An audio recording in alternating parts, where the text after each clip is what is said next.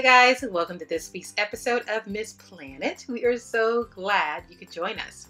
This week, we received a request from a community member by the name of Gina, and Gina writes, My sister is getting married soon and asked me to help her make centerpieces. We are using the 24 inch Fleissner or trumpet vases that the venue can supply for free to save money. That is an excellent deal, Gina.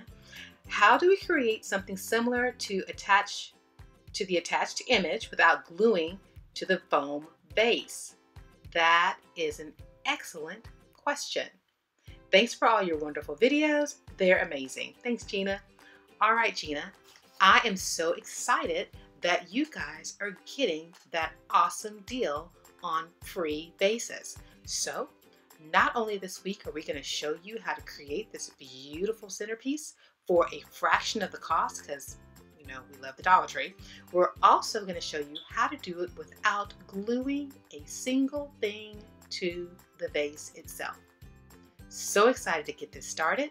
So without further ado, let's go to this week's episode, Tall Burst of Color Centerpiece. Here we go.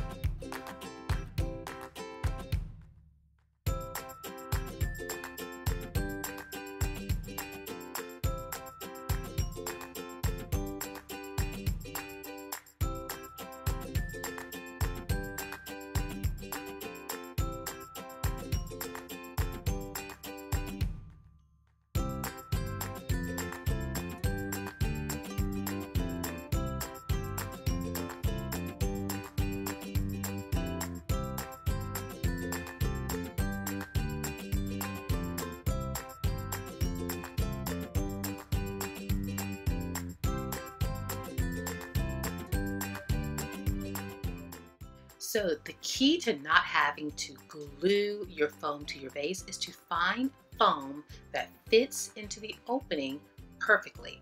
In this case, it's a four by four inch disc, foam disc, and it fits nice and snug right into the rim of our trumpet vase. Now, if you can't find a pre-cut piece of foam, get one that's a little bit larger and just trim it down. It'll work the same exact way. So our first step is, is we're going to attach that touch of color with that plum blossom. And you could just leave it straight, but guess what? We can make it a little swirly. And all you're doing is twisting it around, twisting it around, just to give it some character. And then you're gonna go ahead and attach it to the bottom of your foam. Now, when you're attaching to the foam, you can always use a little dab of hot glue. Um, notice my foam is recycled. Yours will be nice and smooth and new. Mine's recycled, you know how I am. All right, that's our first step. Let's keep going.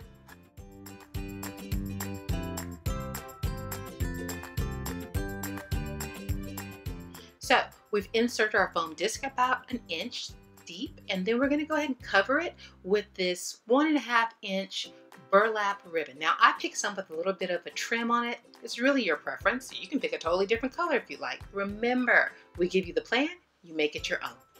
So the key to obtaining this haphazard look of this centerpiece, you know, it looks like somebody just went to their garden and pulled all these flowers and put it in this vase and they just let them fall as they may. Well, they did not fall as they may. they actually built the centerpiece out to look like um, just a, a wild bunch of wildflowers. So we're going to do that by layering different kinds of leaves. Now, we're going to go from eucalyptus leaves all the way to Dollar Tree leaves, leaves I just saved off of old projects. Remember, keep those Dollar Tree leaves.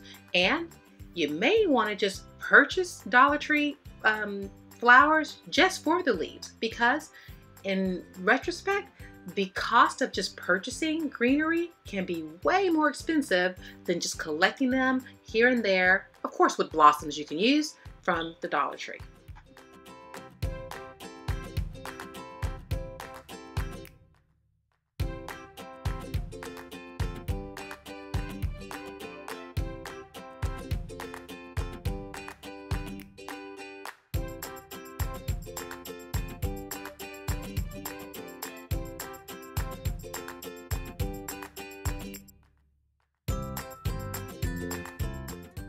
Remember when you're attaching your actual blossoms, be sure to vary the length of the stems. Go from very long, say 12 inches, all the way down to maybe four inches. Just vary them. That's what's gonna give your centerpiece a more realistic appearance.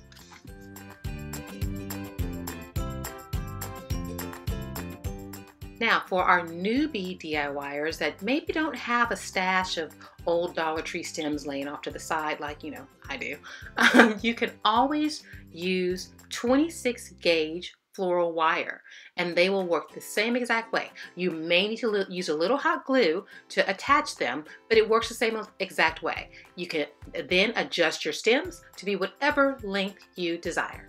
Just a little quick tip.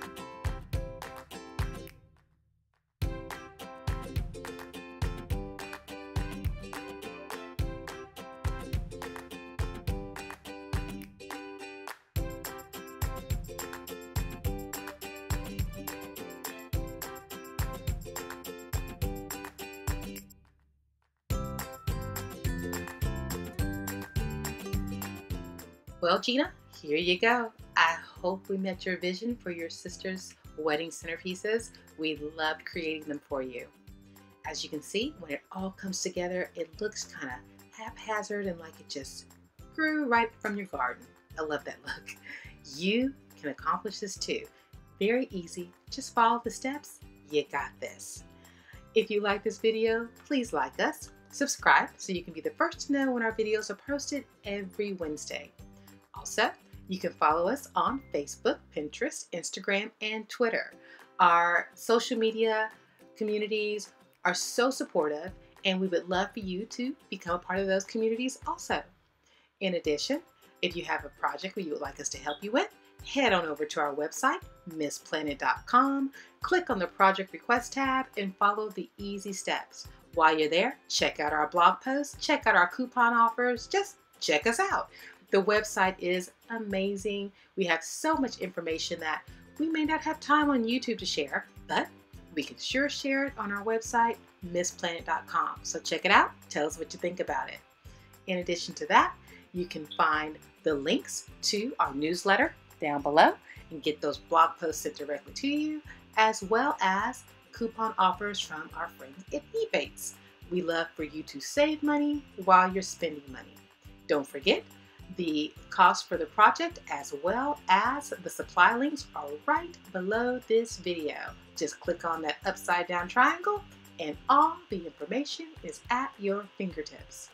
Well guys, we so enjoy spending this time with you. We thank you for taking the time to spend with us because we know there are so many options. And until next week, always remember, when every penny counts, count on Miss PlanIt. Take care. See you soon. God bless.